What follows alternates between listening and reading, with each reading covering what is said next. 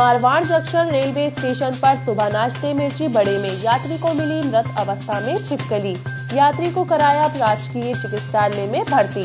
पाली ज़िले के railway junction Jammu Tawi express में एक यात्री सुरेंद्र पाल, उम्र 60 वर्षीय निवासी भटिंडा नाश्ते की कैंटीन पर पहुँचा।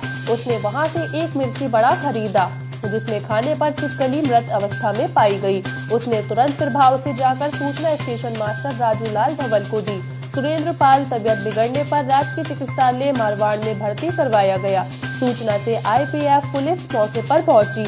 मामले की जाँच की जा रही है। अपना गुजरात अच्छा तो आपकी तबीयत खराब तो नहीं जाता? नहीं नहीं बीपी हाई हो गया था ठीक है। कहाँ जा रहे थे आप? मैं बठिंडा से घर जा रहा था।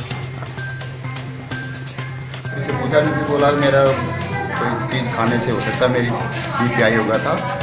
इस कारण से मैं हॉस्पिटल में लेके आया और सुनाया इलाज किया मैं छुट्टी में कोई कार्रवाई नहीं चाहता इस में। नहीं मेरे नहीं किस क्या इस तरीके के सर कई अवैध दुकानें चल रही है स्टेशन पर क्या कार्रवाई पुलिस कर रही है इसके बारे में? अब ये तो परिवार जाना हम तो हमारे खिलाफ जो हम इनके खिलाफ जो हमारा जो रेलवे कार्रवाई करते हैं